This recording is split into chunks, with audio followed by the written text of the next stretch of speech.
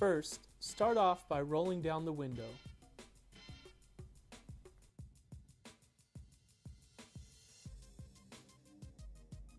Next, grab the cleaning wipe, open, and clean the areas in which the visor will be applied.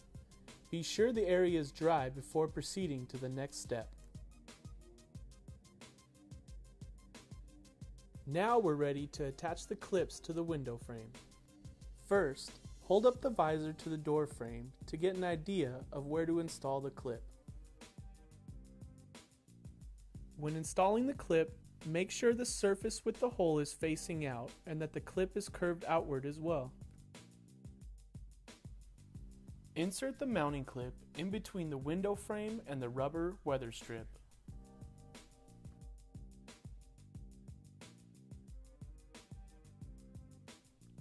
Repeat these steps for the second clip.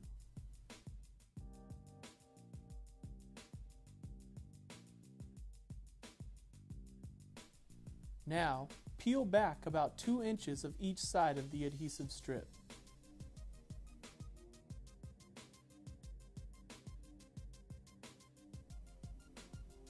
For this application, you will first attach the front edge of the visor to the side view mirror panel. This step is important. Be sure when installing this end clip that it wedges just behind the side view mirror. Line up the edge of the visor with the edge of the door frame. We will apply pressure to the adhesive strip while slowly peeling back the red tape. Be sure to take your time with this step. Gently pull a little tape at a time while applying pressure to the area of the visor where the tape has been removed. Always grab the tape as close to the visor as possible to avoid tearing the tape. Once you have removed all the strips of tape, run your fingers around the edge to ensure a tight seal. Now we are ready to install the included locking pins. Start off by adjusting the clip so the holes of the visor and the clip are lined up. We will then grab the circular piece and the center pin. Place the circular piece on the back side of the clip and put the center pin through the hole on top of the visor. Then, grab the locking pin and push it through the center to lock everything in place.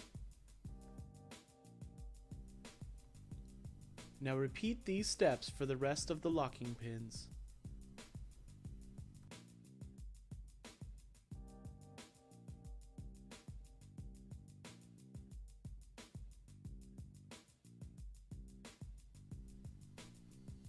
Repeat the same procedures for the rear visor.